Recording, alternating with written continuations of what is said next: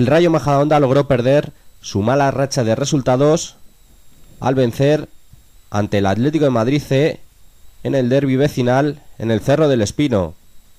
Los de Antonio Iriondo jugaron mejor que su rival, que pecaron de excesiva bisoñez, errando en momentos muy puntuales en la zona defensiva. La primera ocasión fue para los locales, ocasión que se iba a convertir en tanto un minuto después, porque en esta acción que vemos Pablo derribaba a Monasterio dentro del área, Gil Gozalo que señalaba la pena máxima, vemos la acción repetida y ampliada, la carga del eh, central del Atlético de Madrid C sobre el jugador del Rayo Majadahonda y Asen que se encargaba de lanzar y de transformar el penalti inalcanzable para el meta visitante. 1-0 en el minuto 2 de partido. Bien se le ponían las cosas para los de Iriondo vemos el lanzamiento repetido en el minuto 14 Monasterio iba a intentar aumentar las distancias en el marcador con esta acción que vamos a ver el pase en profundidad y el disparo desde fuera del área que se va alto por muy poco.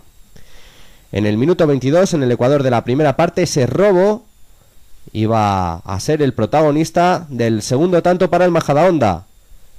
Nevado, que la ponía desde la derecha, y Asen, libre de marca, remataba el balón al fondo de la red 2 a 0.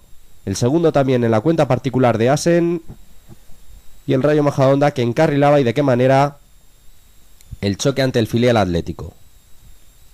Vemos la acción repetida, balón hacia el punto de penalti y ahí Asen marca placer. Un minuto después, excesiva relajación del Rayo Majada Onda que en otro error ve como Iván Calero saca rápido esa falta, el centro desde la derecha y Pato en el segundo palo lograba marcar el 2 a 1. Recortaba distancias, el Atlético de Madrid se le ponía un poquito de pimienta al partido sin embargo, después de esta acción, nada más que destacar de los primeros 45 minutos en la segunda parte, el filial colchonero estuvo más incisivo en el primer minuto de la reanudación, internada de Galax por la izquierda y el disparo que lo sacaba el meta local.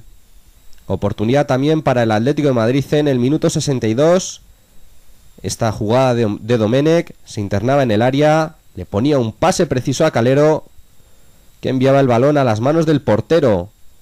De lo que pudo ser el empate a 2, se pudo pasar al 3 a 1 con ese disparo de Israel, pero sí que se pasó en el minuto 67.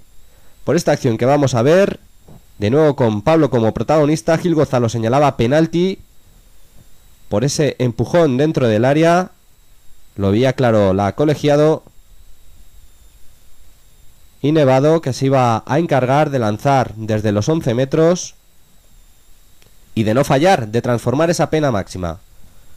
3 a 1 en el marcador, victoria clara y contundente del Rayo Majadahonda que pudo ampliarse en los minutos posteriores, concretamente en el minuto 75 primero vemos el lanzamiento repetido y ahora sí, minuto 75, Javi González que paraba ese buen disparo de Loren.